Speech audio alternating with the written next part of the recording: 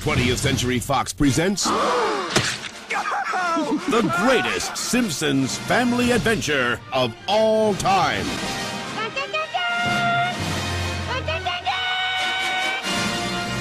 Dad, it's not fair to use a bug zapper to catch the fish.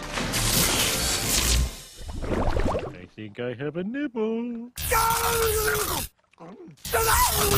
On July 27th, President Schwarzenegger. That is me. Springfield has reached crisis levels. I've narrowed your choices down to five unthinkable options. I was elected to lead, not to read.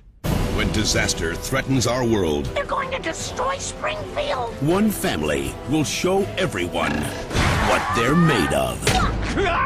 This is the worst day of my life.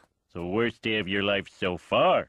Now, I declare a state of emergency. time Dad, do something. This book doesn't have any answers. is What? Tell us! running out. Did I save the day? Actually, you doomed us all. No.